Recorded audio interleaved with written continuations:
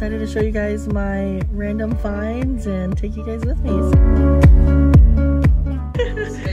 yeah. We just hung out. we just so good morning. It is day two.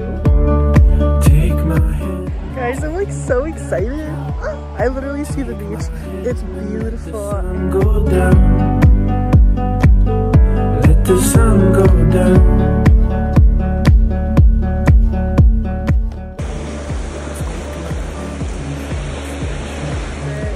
Probably like um but I do have to keep going.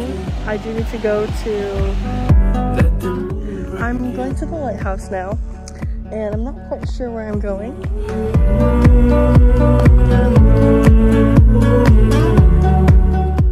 But the word devotion um, and something, a word that caught my attention today while I was reading at the beach was the word devoted. Uh, specifically in verse 42, it says, They devoted them themselves to the apostles' teaching and to fellowship, to the breaking of bread, and to prayer. But it was so of God that while I was walking, I come across this statue that says devotion, right? Like, what am I known for? You know, I've been a Christian now for almost nine years, and a lot of life can happen in between then.